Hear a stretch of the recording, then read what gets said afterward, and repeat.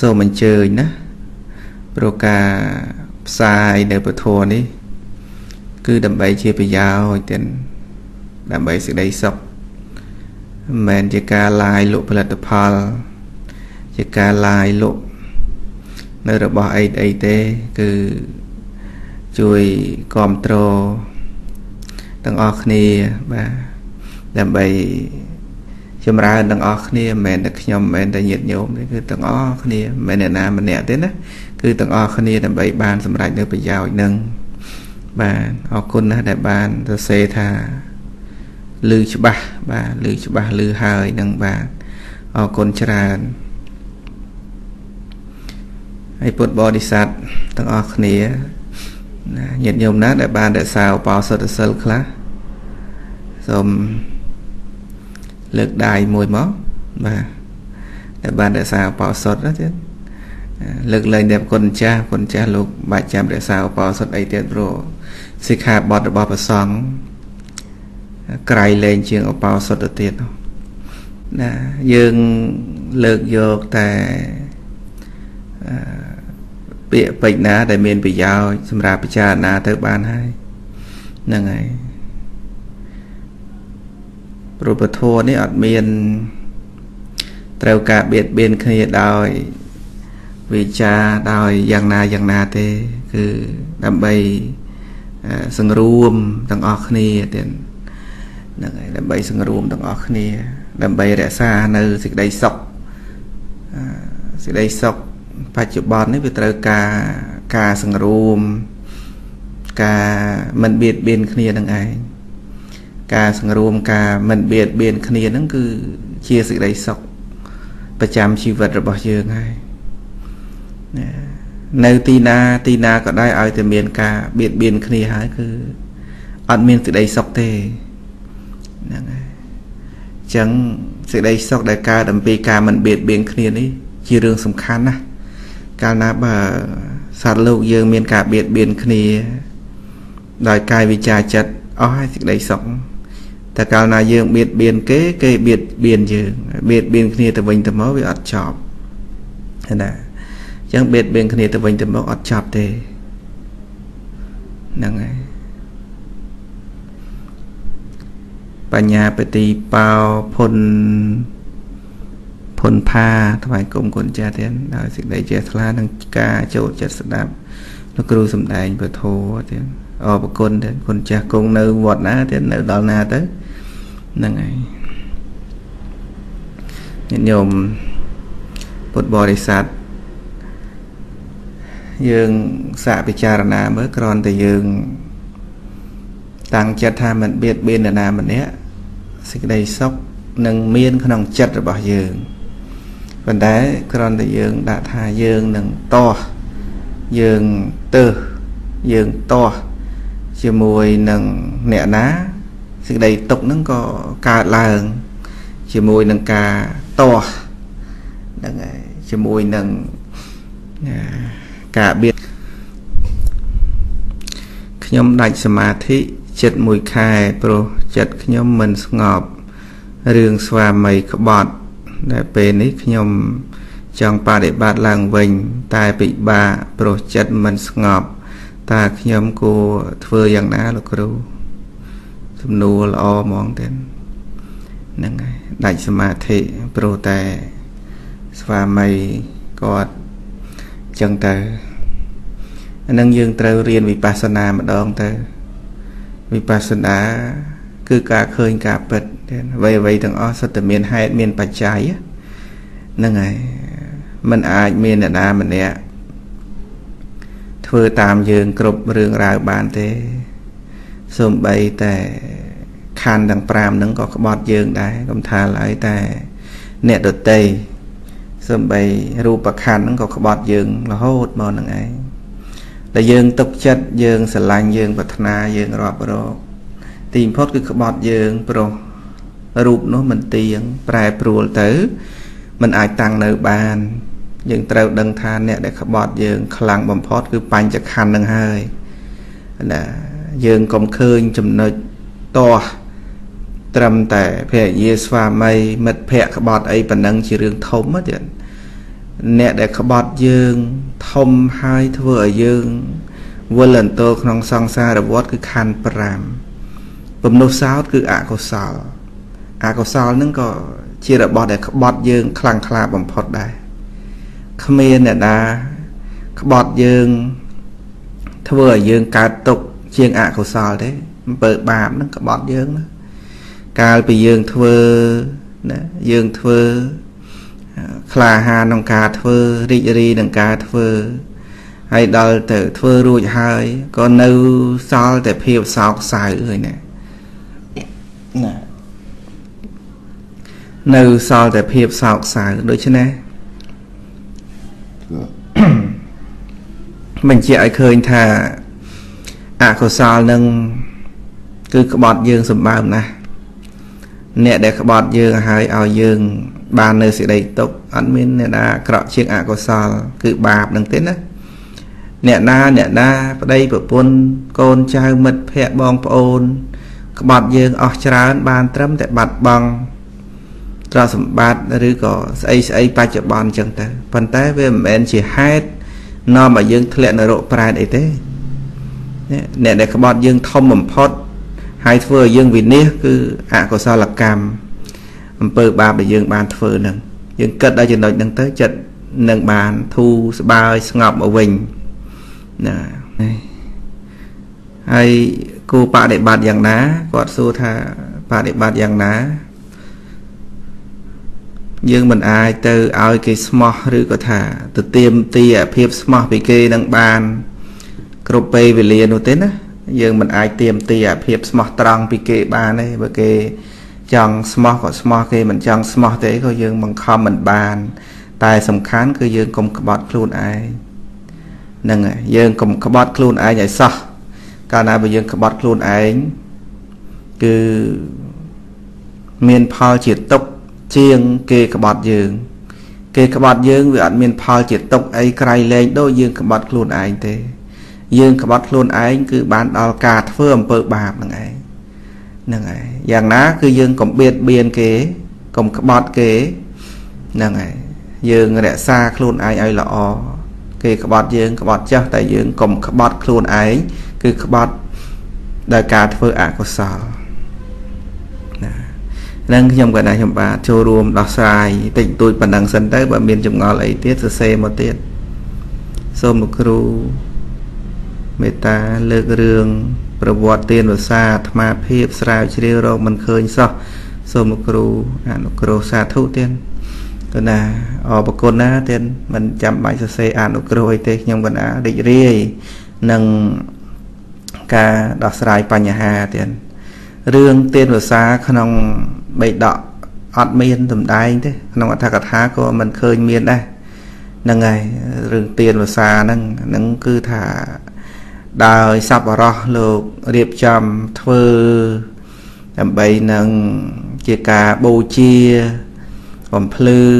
ទីវត្តអារាមអីអីចឹងទៅអត់មានជាការខុសទោសអីទេណាក៏ប៉ុន្តែថាឲ្យមាននៅក្នុងបៃដកណា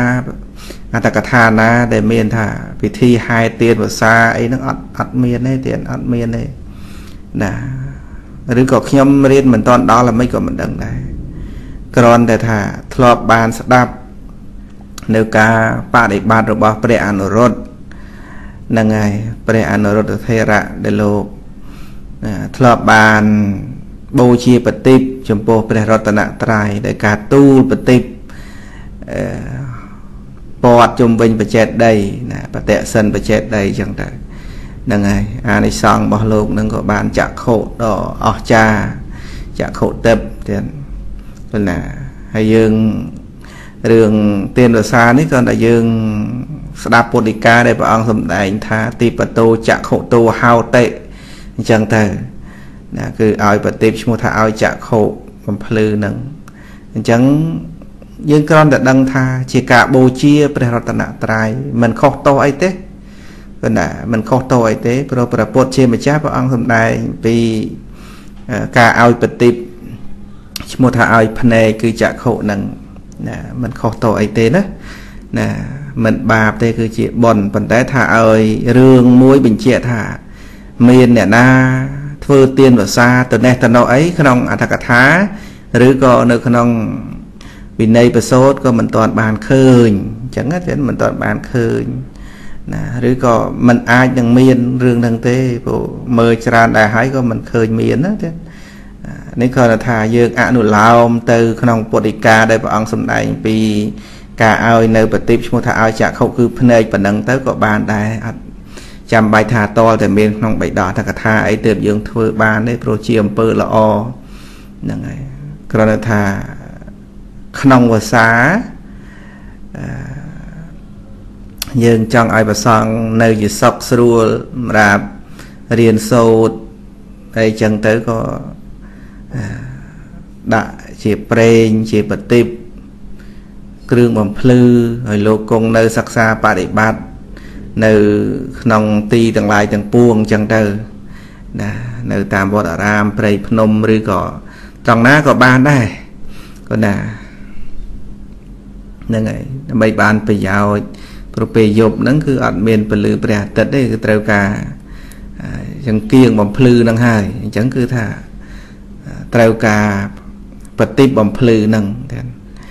មិនចាំបាច់ក្នុងភាសាក៏ធ្វើបានដែររឿងទៀនហ្នឹងនោះខែក្រៅភាសាក៏លោកត្រូវការបំភ្លឺមើលផ្លូវមើលសិភៅមើលអីអីដែរមិនចាំបាច់តែក្នុងភាសាទេណាហ្នឹងហើយតែយើងត្រឡប់មកថាទៀនភាសាទៀនភាសាអ្នកខ្លះរហូតដល់ថាទៀនភាសាហ្នឹងមានវត្តខ្លះប្រកាន់រហូតដល់ថាអុច ទៀនក្នុងក្នុងវិហារក្នុងសាលា ក្នុងបោតក្នុងអីចឹងមើលថាដាច់អាលុតភ្លើងទៀនហ្នឹងគឺដាច់ភាសាអាហ្នឹងវា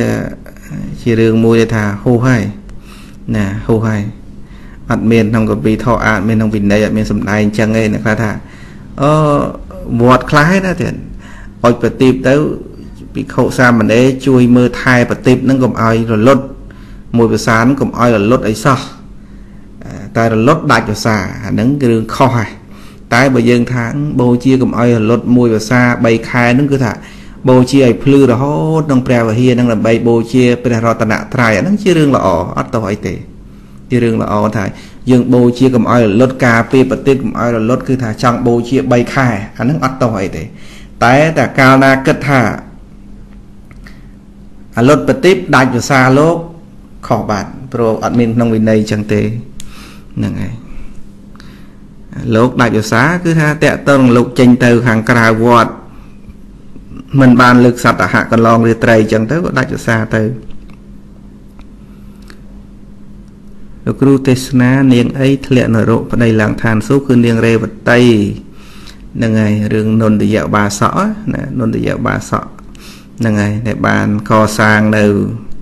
សាលានៅនឹងអិសិបតនមគតិយវ័នហ្នឹងណា ហើយភរិយានាងរេវតីហ្នឹងគឺថាមិនមានសេចក្តីជ្រះថ្លានឹងនឹងព្រះរតនត្រ័យទេធ្លាក់នរកទៀតណាហើយជេរស្ដីភិក្ខុសង្ឃអីអីទៅទៀតណារឿងហ្នឹងឯងណា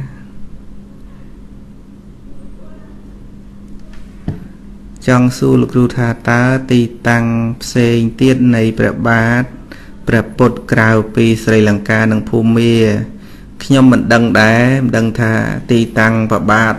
ក្រៅពីប្រទេសស្រីលង្កានិងភូមាក៏មិនដឹងមានប្រកាសឬតែពាក្យចាមរាមថានៅប្រទេសអាកានិដ្ឋានប៉ាគីស្ថានអីហ្នឹងក៏ធ្លាប់តែឮពាក្យគេនិយាយអញ្ចឹងណាប៉ុន្តែមិនដឹងច្បាស់ថាប្របាទ ដតីដតីទៀតក្រៅអំពី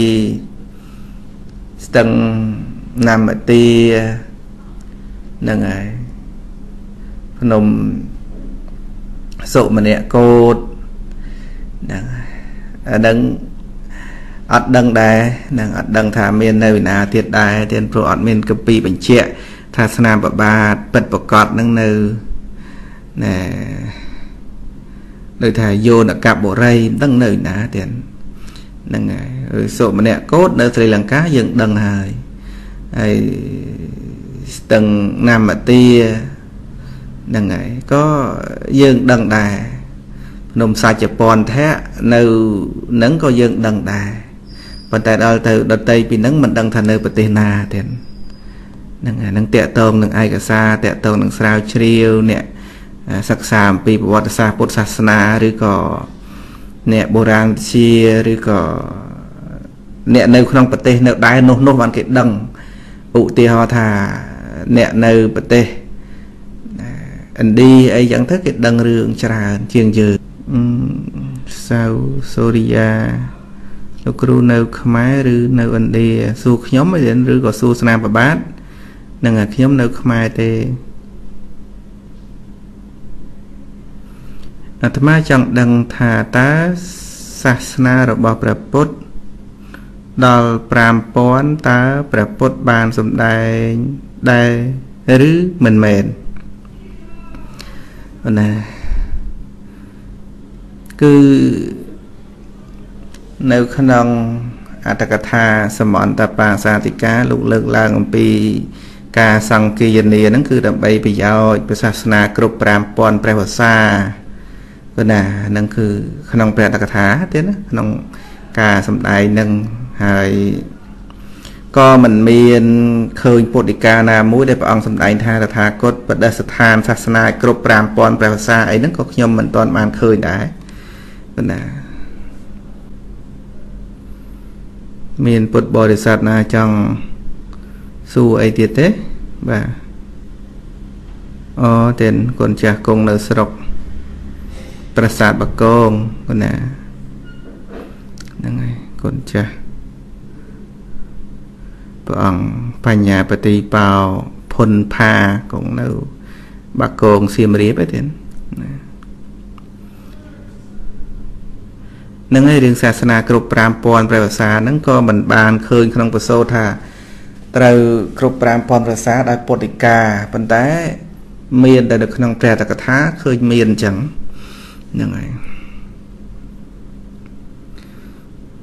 សូមលោកគ្រូជួយប្រាប់អាត្មាមួយពោតើសមថកម្មដ្ឋានដេកក្នុងបេដកលេខប្រមាណលោកគ្រូសមថកម្មដ្ឋានដេកនឹងចង់និយាយថាគាត់ចម្រើនសមថកម្មដ្ឋាន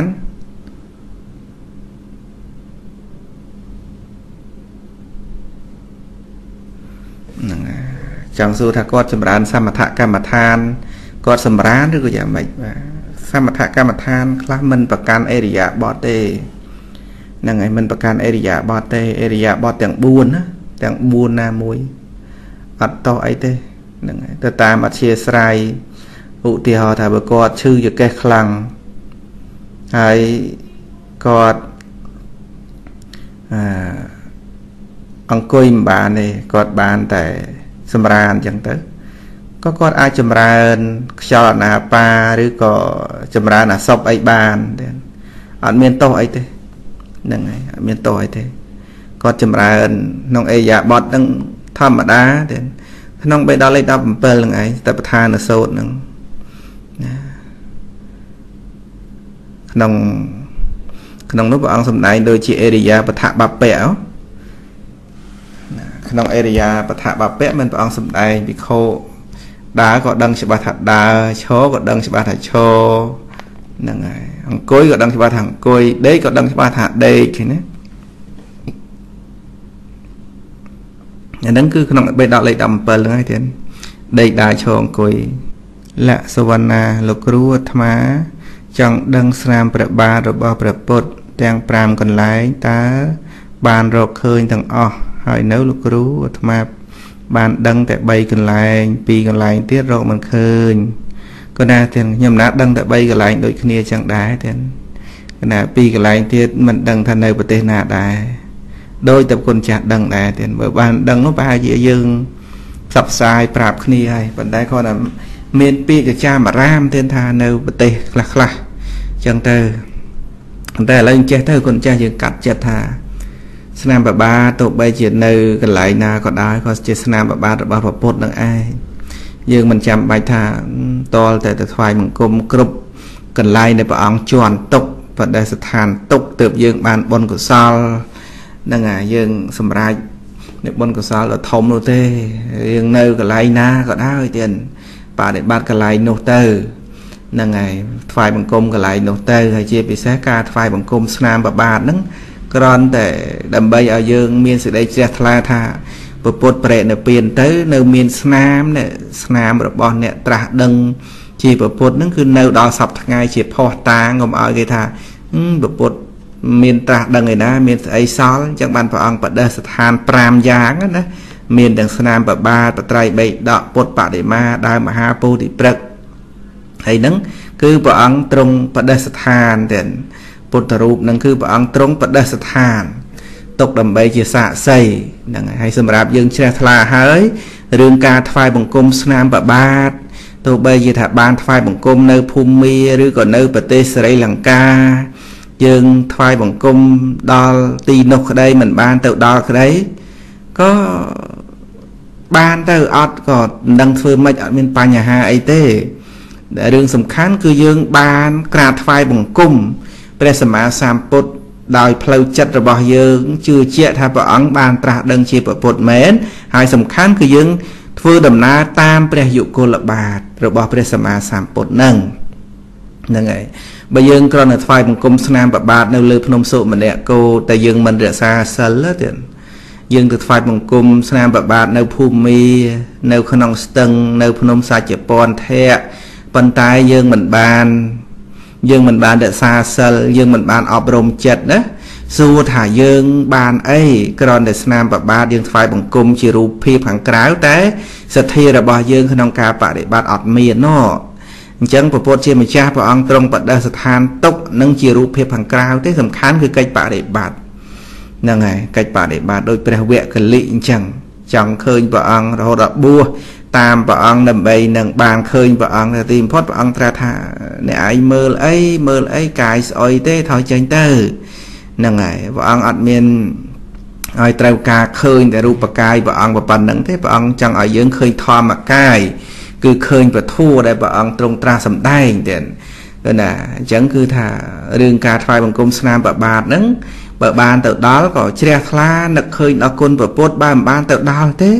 យើងអត់មានសមត្ថភាពអីនឹងទៅដល់ទេក៏អត់បញ្ហាអីដែរយើងកុំឲ្យថាអូយើងចង់ទៅថ្វាយបង្គំស្នាមប្របាទនៅត្នេះនៅត្នោះហើយពីកន្លែងទៀតដឹងនៅណាអានឹងយើងសិក្សាអីអីចឹងទៅក៏សិក្សាទៅណាប៉ុន្តែថាយើងកុំឲ្យមកធ្វើជារឿងកង្វល់ក្នុងចិត្តថាចង់ទៅណាមិនដឹងជារយណាឃើញ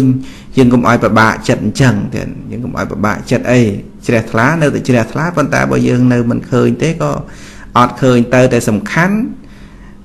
ដែលព្រះអង្គបដិស្ថានអស្ចារ្យជាងគេគឺពធัวទេក្នុងក្នុងវត្ថុដែលព្រះអង្គបដិស្ថានទាំង5យ៉ាងហ្នឹងគឺពធមខណ្ឌហ្នឹងពធមខណ្ឌទាំង84000ពធមខណ្ឌហ្នឹងហ្នឹងហើយគឺជាធម៌ដែលព្រះអង្គបដិស្ថានហ្នឹងពិសេសជាងអ្វីអ្វីទាំងអស់ហ្នឹងហើយអ្វីអ្វីក្រៅពីហ្នឹងក៏តែជារូបភាពជាផុសតាង តែដល់ប្រធัวគឺថាល្អដាច់គេទាំងអស់ហ្នឹងហើយបើមានតែស្នាមប្របាទមានតែព្រះសារីរកធាតុមហាពោធិព្រឹកតែអត់មានពធัวគឺរបស់ទាំងអស់នោះគេមិនស្គាល់ទេអញ្ចឹងដោយសារមានពធัวនឹងឯងហ្នឹងហើយដតីពីពធัวជាមហាពោធិព្រឹកជាស្នាមប្របាទ ជាពុទ្ធរូបជាអីហ្នឹងគ្រាន់តែជាវត្ថុអមពធដើម្បីឲ្យអ្នកខ្លះមិនតន់ជឿជាក់ហ្នឹងឲ្យជឿជាក់ទៅថាពុទ្ធពិតជាត្រាស់ដឹងមែនអញ្ចឹងណាហ្នឹងហើយព្រោះថានៅមាននៅមានស្នាមប្របាទនៅមានវត្ថុភ័ស្តុតាងអីអញ្ចឹងទៅហ្នឹងហើយប៉ុន្តែសំខាន់គឺពធដែលព្រះអង្គទ្រង់បដិស្ថានទេហ្នឹងហើយស្នាមប្របាទអីជាវត្ថុ បន្តបសំមកទេទៀតបន្តបសំមកទេអញ្ចឹងណាហ្នឹងហើយអញ្ចឹងយើងបានថ្វាយបង្គំបណ្ណាក៏យកបណ្ដឹងតែសំខាន់គឺកិច្ចបដិបត្តិតាមប្របាទនេះតាមស្នាមព្រះអង្គដែលព្រះអង្គជន់ទុកហ្នឹងព្រះអង្គទ្រង់ពនាមថាសុខតោព្រះអង្គមានដំណើរល្អយាងទៅកាន់សន្តរឋាន គឺអមតៈមហានិព្វាននឹងអញ្ចឹងយើងធ្វើដំណើរតាមស្នាមប្របាទរបស់ព្រះអង្គនេះគឺប្របាទដែលព្រះអង្គយាងទៅព្រះនិព្វាននេះជា ជាស្នាមប្របាទជាផ្លូវដ៏ល្អណាស្នាមព្រះបាទដែលព្រះពុទ្ធជាម្ចាស់ព្រះអង្គទ្រង់ទុកឲ្យយើងទេគឺពធនេះឯងពិសេសជាងស្នាមប្របាទដែលជន់ទុកនៅត្នេះត្នោះអីនឹងទៅទៀតអានឹងយើងប្របាក់ទៅរទៅដល់ទីតាំងនឹងណាណែស្នាមប្របាទដែលព្រះអង្គទ្រង់ទុកត្រួសត្រាយផ្លូវផែនទីទុកឲ្យយើងនេះគឺពធនឹងឯងជាផែនទីល្អបំផុតនឹង នឹងឯអរគុណណាគុណចាស់ដែលបានសាកសួរអឺលោកគ្រូតើប្រពុតនិមន្តទៅប្រទេសស្រីលង្កាកុំប្រើពាក្យនិមន្តអីទេប្រើព្រះអង្គយាងណាព្រោះពុទ្ធជាស្ដេចនៃអ្នកប្រាជ្ញទេពុទ្ធទ្រង់យាង ទៅកាន់ប្រទេសស្រីលង្កានៅវសាទីប្រមាណមានក្នុងវសាទី1ផងទី5ផងទី8ឬ9ផងអញ្ចឹងទេណាហ្នឹងហើយព្រះអង្គយាងទៅមានក្នុងដូចជាក្នុងខែចែកខែពិសាអីខែអីទៀតទេខ្ញុំណាផ្លេចអីប៉ុន្តែគាត់ថាមានក្នុងវសាទី1អំឡុងវសាទី1និងទី5និងទី9ហ្នឹងអ្នកខ្លះថាទីកពីខ្លះថាទីវសាទី8ហ្នឹងឯង